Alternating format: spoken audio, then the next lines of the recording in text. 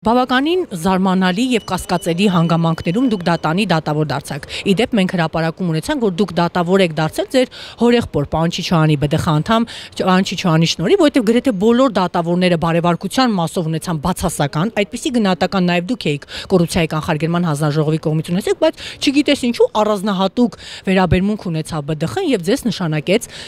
դատավոր։ Ինչպես ստացվեց, այսինքն լավ հոպար ունենալու արդյունքում կարելի է դատավոր նշանակվել։ Շատ շնորհակալություն հարցի համար իրականում առիթ հանդիսացավ այս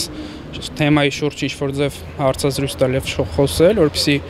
ամբողջական դառնա այս թեմայի շուրջ առաջացած տարբեր կարծիքները։ Այսպես է եղել, նախ սկսեմ վերջից, որ բարևարկության հարցաթերթիկը չի եկել դրական իմասով, ճիշտ է ինքը չի հրապարակվում, բայց սակայն ես որևէ խնդիր չեմ տեսնում, անձամբ ես հայտնեմ այդ մասին տեղեկություն, որ եկել է դրական վերապահումով, այն էլ հայտարարագ ներկայացված հայտարարագրում արկա կանխիկ դրամի ձևով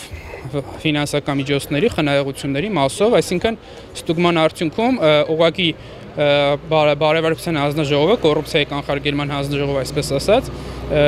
չի գտել այն աղբյուրը, որը իմ կողմից ներկայացվել է հիմնավորմամբ, այսինքն խնայողությունները, որոնք որ եղել են տվյալ հանձնաժողովում ներկայացված հայտարարագրի տեսքով, սակայն նշեմ, որ դեռևս 2017 թվականից իմ կողմից յուրաքանչյուր տարի որպես հայտարարතු պաշտոնատարանց ներկայացվել է կոռուպցիայի հանձնաժողով հայտարարագիր եւ նույն թիվն է նշված եղել որպես այդպեսին ինչ որ ներկայացվել է նաեւ 2021 թվականին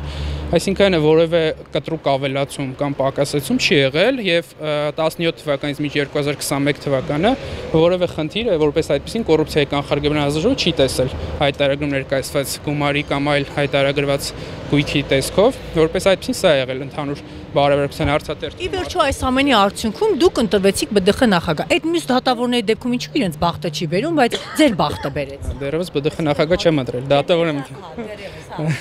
Դատավոր ընտրվեցիք, այսինքն մյուսների դեպքում իրավիճակը այլ էր, հա, բարևարկության մասով կար բացասական գնահատական, նախագահը հրաժարվել էր նրանց նշանակումը ստորագրել եւ արդյունքում արդիկ հայտնվեցին դրսում, բայց ձեր դեպքում ԲԴԽ-ն